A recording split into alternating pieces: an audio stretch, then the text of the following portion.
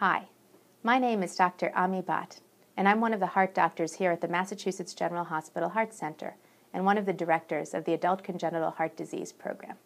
I'm excited to speak with you today about adult congenital heart disease and the road to surgery if needed. Please remember that this conversation should not replace conversations that you need to have with your own doctor.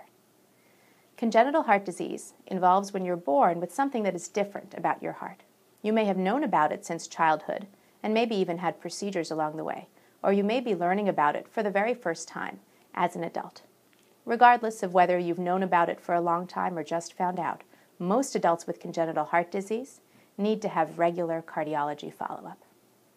In the United States, there are now over 1 million people who are adults with congenital heart disease, and that's more than the number of kids with congenital heart disease.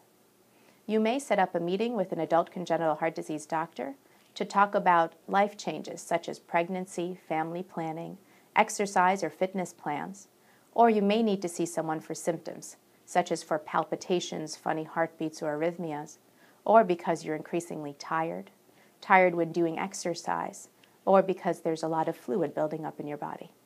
Sometimes your doctor will recommend a meeting with an adult congenital heart disease doctor to talk about potential surgery.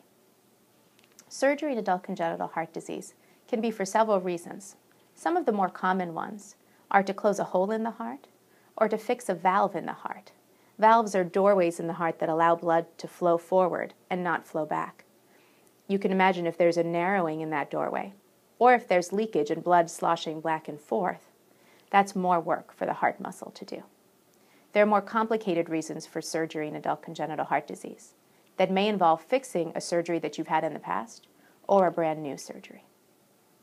When we perform surgery, it's oftentimes through a sternotomy or an incision down the front of the chest. That can also be on the side sometimes, and sometimes you can get a mini sternotomy or a small incision.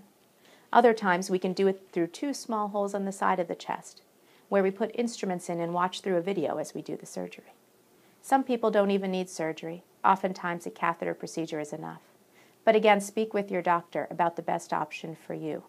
In the end, what you want is the option that gives you the longest lasting and best result. The road to surgery first involves multiple meetings with your own cardiologist, an adult congenital heart disease specialist, and the cardiac surgeon. It may involve testing, including an exam in the office and an EKG, an ultrasound or an echocardiogram to take pictures of the heart, or an MRI or CAT scan. You may also do some exercise testing or a cardiac catheterization, where we check the flow of blood and pressures in your heart. Your doctor may also suggest that they have a group meeting and review your case with the catheter doctors, the imaging doctors, and the surgeon.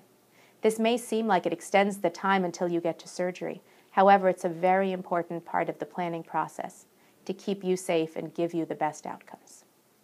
When you decide to go forward with surgery, the week before the surgery, you'll have a preoperative visit.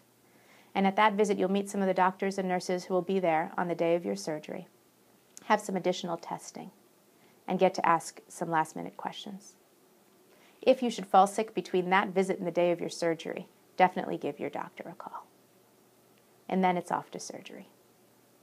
Best of luck, keep safe, and make sure to be an active participant in your own health care.